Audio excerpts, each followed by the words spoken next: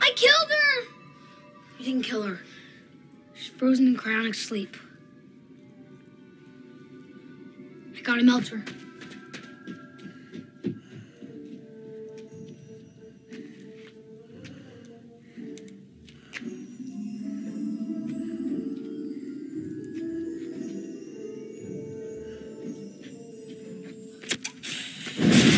Are you crazy? We can't just leave her here like this.